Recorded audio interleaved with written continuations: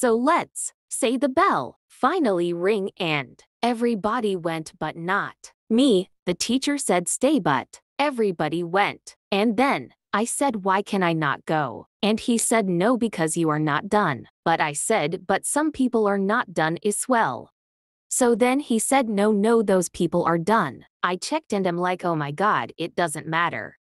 I had attention for a week for talking back. Then the bell ring again. Then I said I don't care I'm going then the teachers that stay. Where you going to have attention for a year? And I said oh my god why do you have to be like that? I said so so so so so so so very loudly why won't you let me? I'm finished all my work why do you have to be like this just? Tell me what's wrong.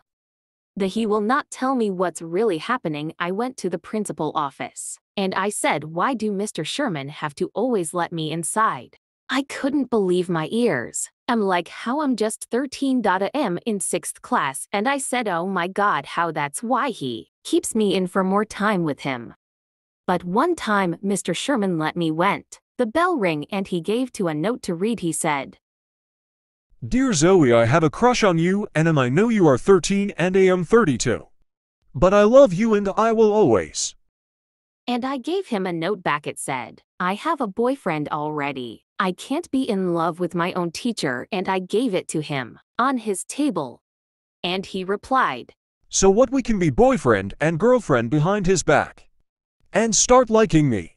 And am like no way I moved schools I had to become I don't want a teacher to be my boyfriend. Then two years later so then I went to 8th class I was 15 and then I lived happily ever after and I got a new boyfriend sub like.